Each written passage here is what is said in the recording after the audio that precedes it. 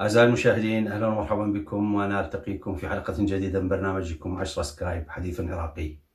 في هذه الحلقة سنتحدث مرة أخرى عن النازحين عن هذه الفئة عن ملايين العراقيين الذين اضطرتهم ظروف الاستبداد والقهر والقتل والتنكيل والتهديد إلى ترك مدنهم وبيوتهم.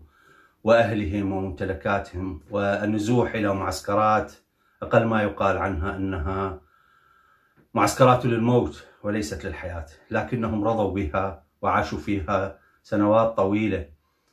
وصل العدد وصل عدد النازحين في فترات معينة لأكثر من ستة ملايين نازح عراقي في هذه المعسكرات المنتشرة في كثير من مناطق الشمال والمناطق الغربية ومن ديالة صعودا ومن الأنبار صعودا كثير من معسكرات النزوح.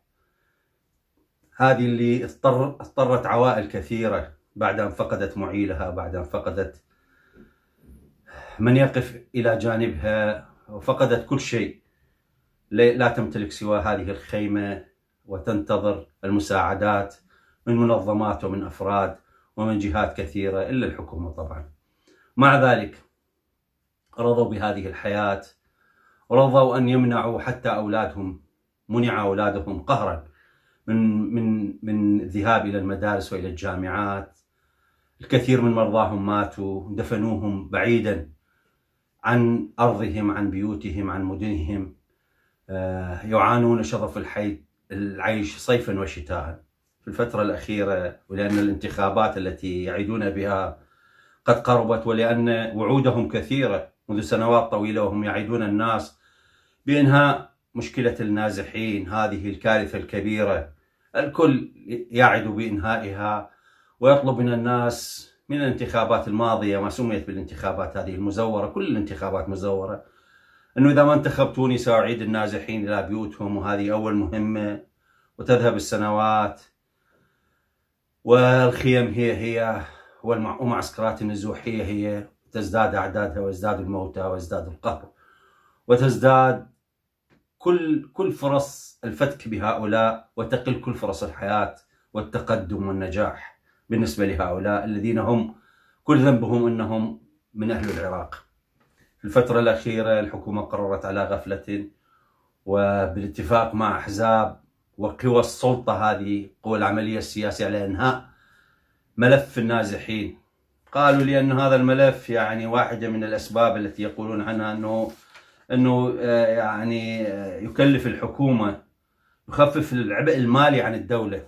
يريدون تخفيف العبء المالي عن الدولة وكأنهم هم الذين كانوا طوال هذه السنوات يتحملون عبئا ماليا وخدميا لهؤلاء النازحين. المهم قرروا فجأة إنهاء هذه هذه المعسكرات معسكرات النزوح وإعادة أهلها إلى مناطقهم.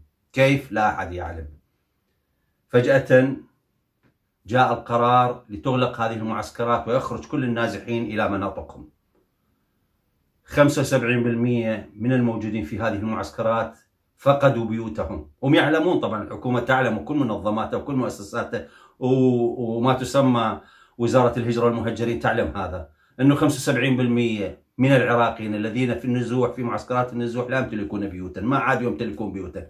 أما بيوتهم قد دمرت بسبب القصف والتدمير الذي الذي يعني حصل لأكثر من ستة محافظات اللي يسموها محافظات محررة الأنبار وصلاح الدين وفي ديالى وفي في الموصل خاصة. كثير من المدن هذه دمرت ودمرت بيوتها وخرج الناس.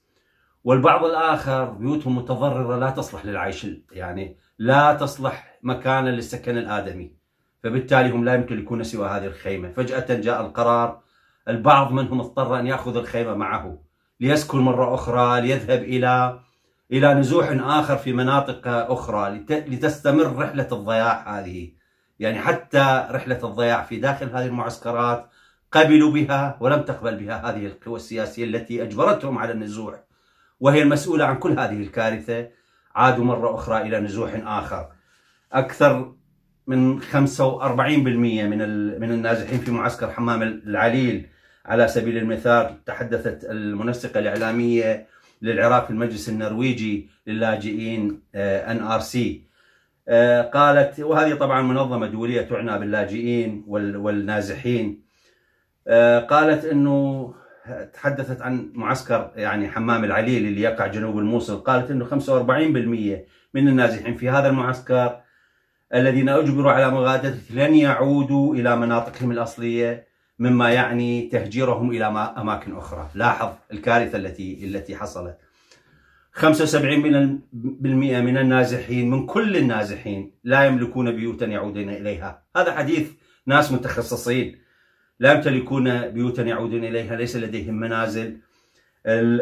كثير من هذه عشرات الآلاف من هؤلاء النازحين لا يستطيعون العودة إلى مناطقهم مثل جرف الصخر في يثرب في صلاح الدين جنوب آه، يعني في في جرف الصخر جنوب بغداد وفي يثرب آه، في صلاح الدين شمال بغداد.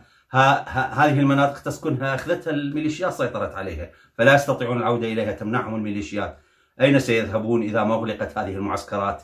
أغلقت هذه المعسكرات وتركوا لمواجهة هذه الظروف خاصة والشتاء قادم على العراق وكورونا تعصف بالعراقيين والفقر والفاقة والوضع المتردي في كل العراق.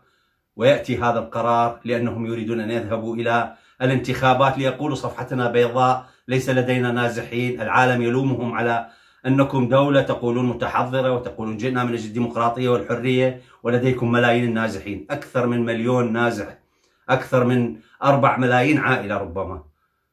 يعني الآن تعاني شظف العيش وشظف هذه الحياة المهلكة. في معسكرات النزوح التي بدأ إغلاقها والآن مستمر الإغلاق. الحكومة ليس ليس عليها أن تساعد أحدا. تقول يعني انتهى هذا الموضوع. المعسكرات يجب أن, أن تغلق. آه، ماذا سيفعلون؟ من الذي يتحمل مسؤولية كل هؤلاء؟ هذه إحدى الكوارث. بدل أن يعالجوا القضية من جذورها بدل أن يعالجوا قضية النزوح لماذا نزحوا هؤلاء؟ ومن يتحمل من يتحمل مسؤوليتنا من الذي دمر بيوتهم؟ لا أحد يتحدث عن هذه المن... لكنهم يريدون أن يخرجوهم من هذه المعسكرات فقط وتنتهي هذه القضية ولا أحد يعود ليتحدث عن معسكرات نزوح. هذه هي القضية المهمة الآن اللي موجودة واللي يعاني منها ملايين العراقيين مع الأسف الشديد. لكم الله أهل العراق هذه قضية كبيرة لا يمكن السكوت عنها ولا يمكن أن يطفى ملفها مثل ما تريد هذه الحكومة. وقت هذه الحلقة قد انتهى. ألتقيكم في حلقة أخرى إن شاء الله.